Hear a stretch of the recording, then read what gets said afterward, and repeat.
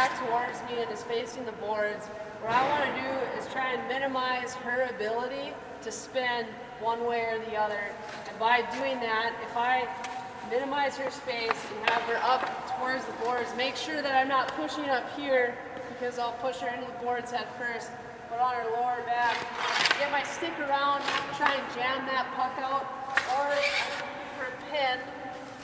that's going to minimize her space to spin one way or the other, and hopefully I can get some help. Someone can come pick up the puck, but not letting her leave this corner. What I would do to counterattack that, if I could, is I'm looking to try to keep as much space as possible between myself and the boards and not allow Jocelyn to pin me. So if I if I get stuck in here initially, my first thought is to push myself out, give myself a little bit more space so I can move. Um, if I allow Jocelyn to push me up against the boards,